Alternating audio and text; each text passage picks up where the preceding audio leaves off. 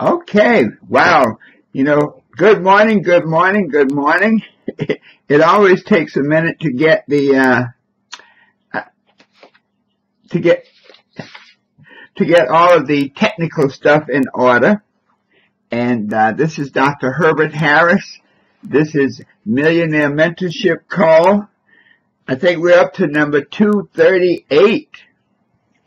And, um, wow I tell you, I, I, you know, folks, I'm just honored to be here with you every day and uh, really thank each and every one of you for being on the line because it has been so helpful to me and I get such great feedback from you all from about some of the ways that the program, the calls have helped you and you know, go to my Facebook page sometimes. I see some great notes from you, Matt, but others, just go to my Facebook page, Herbert Harris, uh, in Wilmington, North Carolina, and write some comments because when people call me and share some of the things about what the calls have done for them, it just, it, you know, I almost feel like, man, uh, it's so important that we be here and that we do this. And the fact that the call happens every day is one because you expect it from me, and two, I expect it from you. And when you put the law of expectation together,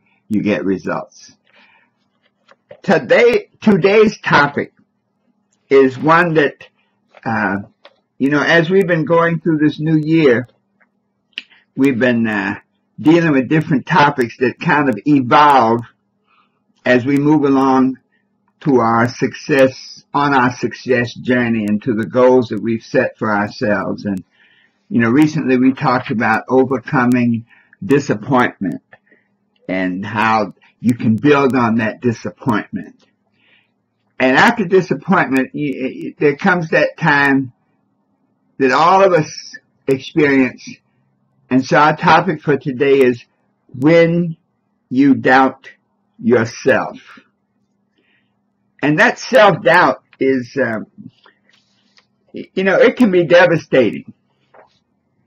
It can be, you know, sometimes I think the doubt is more a thief of dreams than procrastination.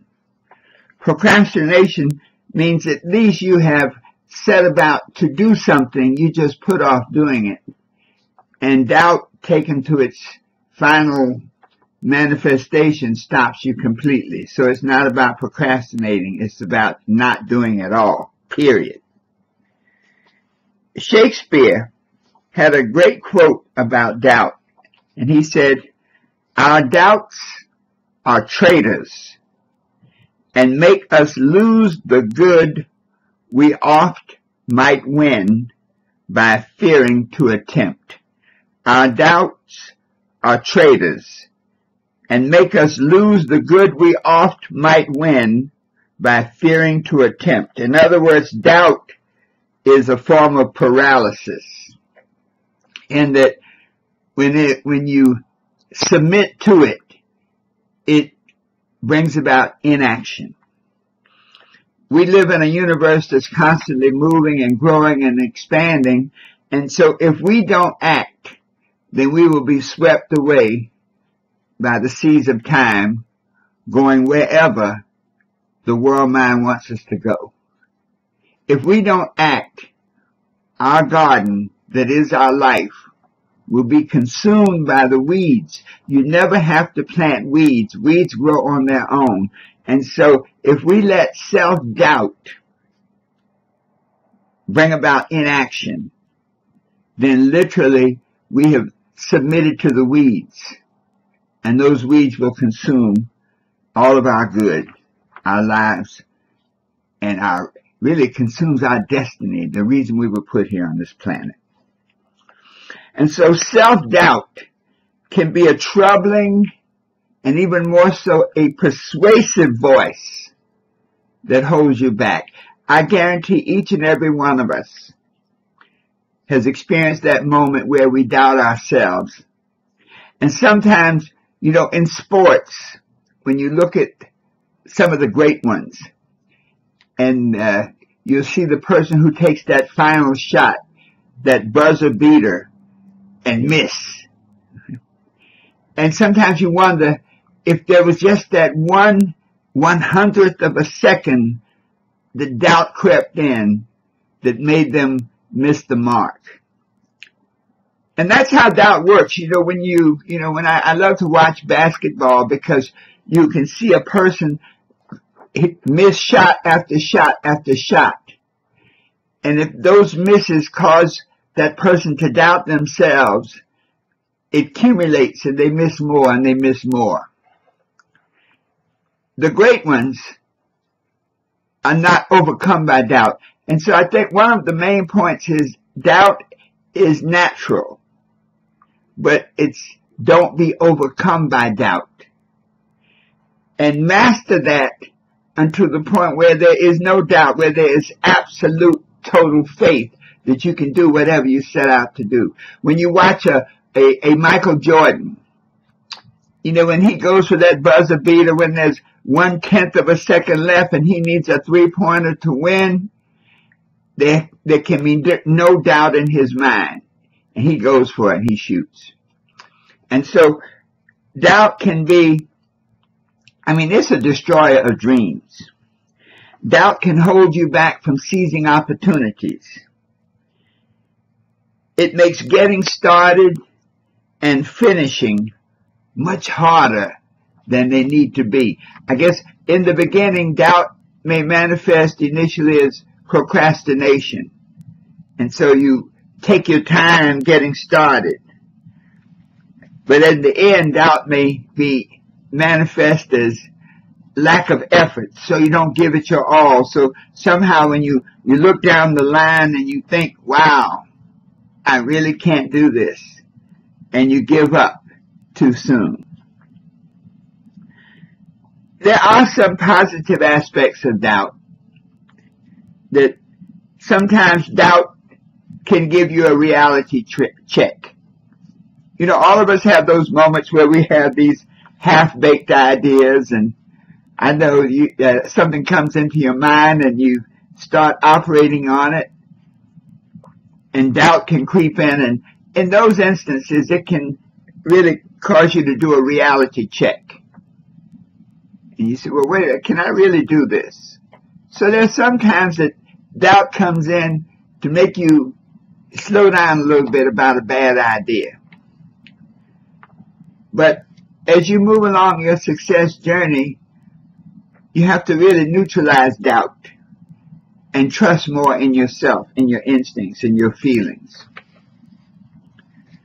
And so we've talked about doubt many times, but I wanted to give us a, a proscription a prescription to help us overcome doubt because it will surely manifest in our lives.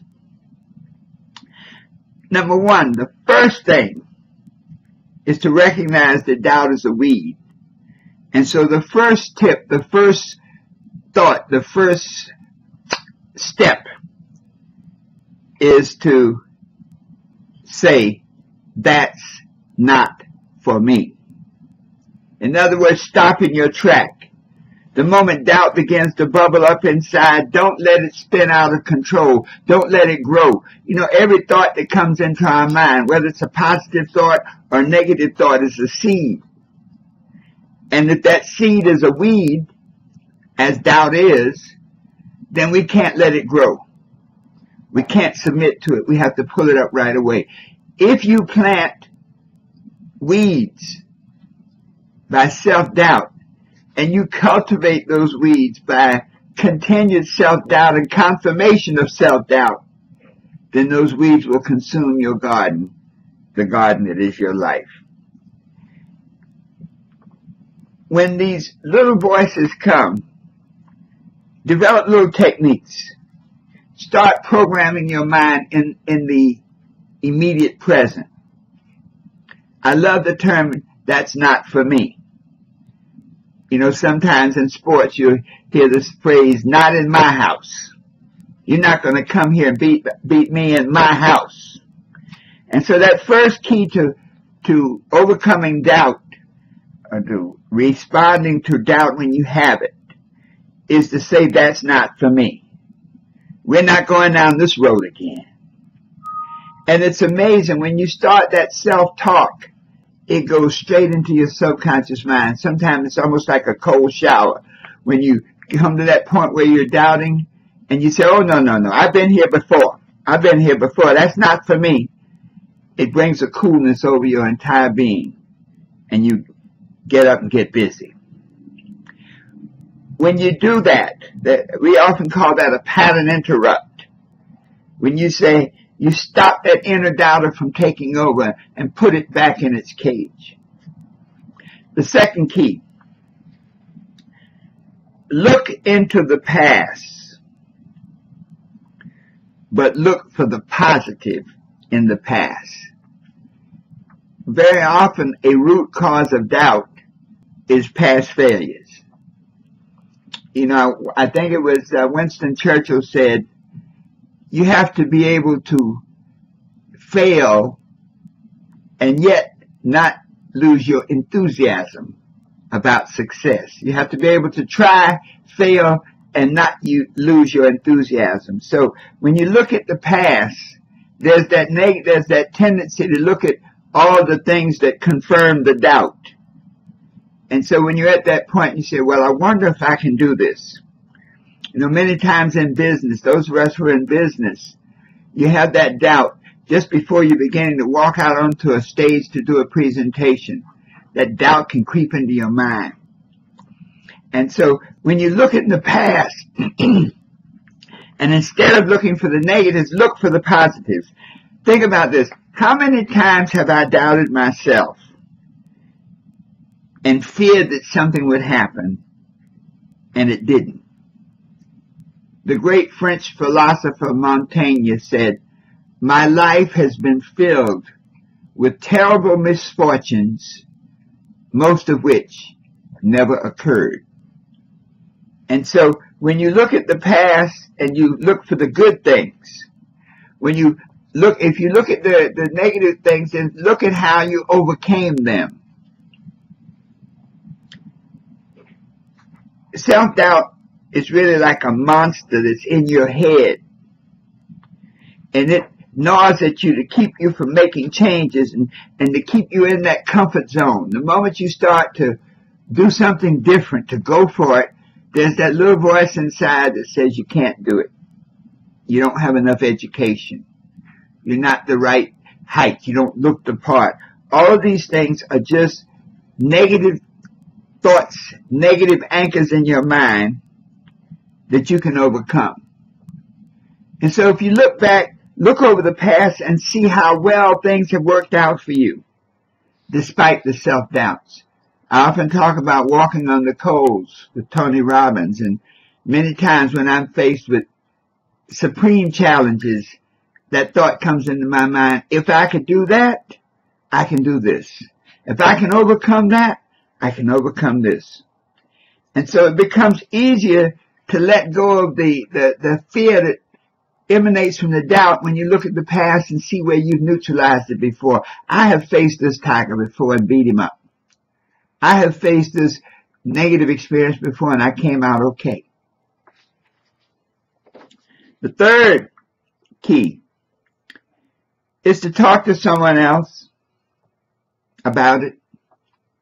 Now, I have to caution you don't talk to a coach who's never played the game. never take swimming lessons from a coach who can't swim. And so when you talk to someone about your doubts, talk to someone who's been there. You know, if you talk to the wrong person, they can confirm the doubt and you end up literally stopping in your tracks. I often tell the story of the Good Samaritan crossing the Golden Gate Bridge. And there was a man there that was so doubtful and so negative he was preparing to jump off the bridge and the Good Samaritan said, no, no, no, life can't be that bad. Well, when the negative person started sharing how terrible his life was and how terrible life could be, the Good Samaritan and the, and the jumper, they both ended up jumping off the bridge. So be careful who you talk to. But definitely reach out to somebody who's been there, who can tell you it's okay. It happens. A young lawyer came to me in New York and he said, Attorney Harris, he said, uh, I have a big trial tomorrow in the federal court and, and I never had a case in the federal court and the last time we were in court, the U.S. attorney made me feel stupid, you know. He said he made me feel like he was friends. He walked in the courtroom and he spoke to the judge. Hey, judge, how you doing? How's the wife and the kids? And he said, I felt like I, I didn't know the judge. The judge didn't know me. I felt like I didn't have a chance. And so when he talked to me, thankfully he came to a person who had tried a lot of cases. And so I was able to tell him, listen, you know, that's the game. That's all part of the strategy. They started trying that case the moment they walked into the building. By the way they walked. They started trying that case by the way they walked into the courtroom with that swagger. And so don't be intimidated by that. That's all part of the game. Develop your own swagger. You walk into the judge and say, Judge, didn't I see you at the golf course recently? You may never have seen him there, but the Judge, well, you know, I haven't had a chance to play for a while. Well, Judge, look, you know, it's going to have some good weather. You know, I look forward to your getting out there. Have a nice day. When you talk to someone else about who's already been there, they can literally lift you up. I'll tell you something, folks. This is a powerful piece now. Whenever you have doubts, find someone who's been there and talk to them, especially when the doubt is so profound that it's putting thoughts in your mind of quitting and throwing in the towel. The fourth key, write it down. Some people say keep a journal, but write it down. There's something about writing down a challenge that takes the some of the scariness out of it. One of the good things about writing the challenges down is that as you begin to really crystallize it in paper, you'll often see that it's not as big and bad as it was. You know, what's the challenge? Well, I have to go out and speak before an audience of a thousand people. And uh, once you write it down, see, well, now that I've written it down, are they going to hit me if I do a bad job? No. Are they going to throw stones at me? No. So what's the worst that can happen? Mm-hmm. So when you write it down, and even more so when you keep a journal, sometimes you can go back to it. When you read your own journal, it's for your own personal inspiration, and you can read how the last time you spoke, I was very fearful. But I went out there on that stage and boy, once I heard the crowd cheering and people clapping, oh, I felt empowered. And I overcame it it's important to keep a record of your life, especially the positive things. You know, Ben Franklin always, uh, when he wanted to make a decision, a change in his life, he looked at his victories, the good things that he had done and accomplished, and he looked at his lessons, the negative things, the things that didn't happen, the people that didn't mean him any good, the things that didn't work. And he would count up and see whether there were more victories than defeats and adjust his life accordingly. I say on a daily basis, I would recommend that everyone at the end of each day write, make a list of the good things you did, the good people you met, the good things that you were able to overcome. That crystallization of your good and your positive results helps build your faith in yourself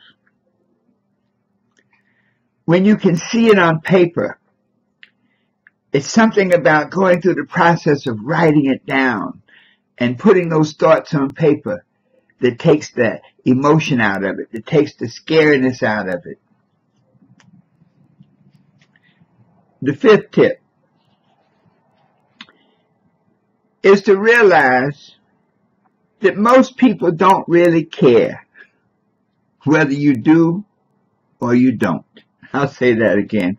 To realize that most people don't really care whether you succeed or whether you fail.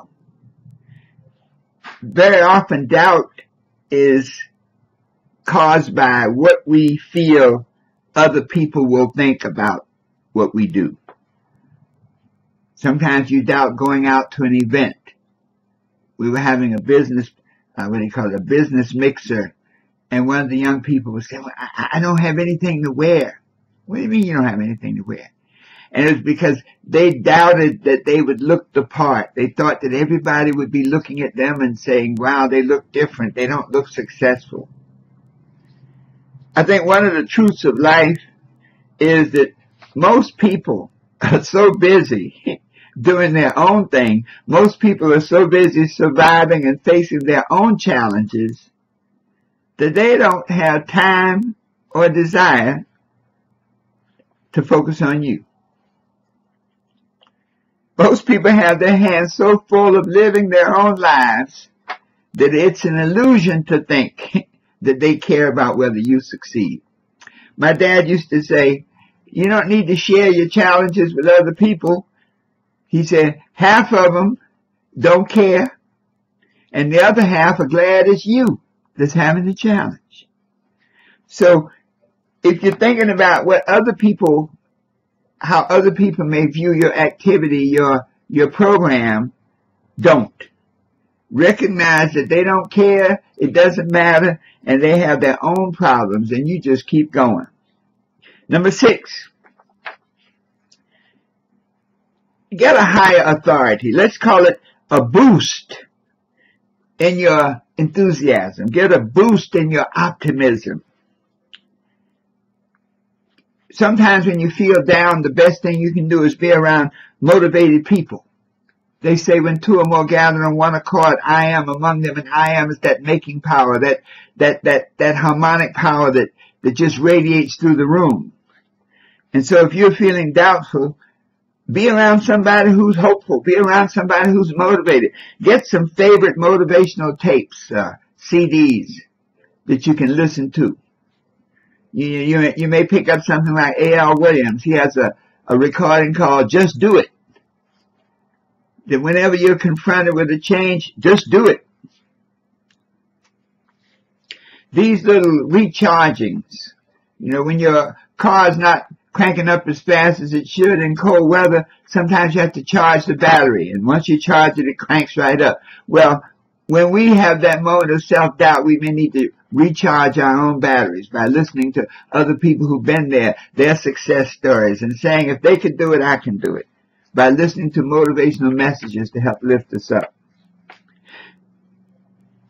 The seventh key, to recognize that all setbacks are temporary. That no matter what happens today, tomorrow always comes. No matter how dark it is at night, the sun always rises. We were talking about the sun rising over the lake in the morning.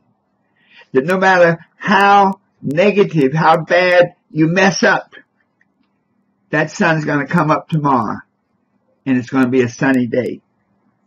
And so sometimes we have to reframe our thinking and look at a, look at every little setback everything that we doubt ourselves about and look at it as a, instead of a setback, look at it as a setup for a comeback.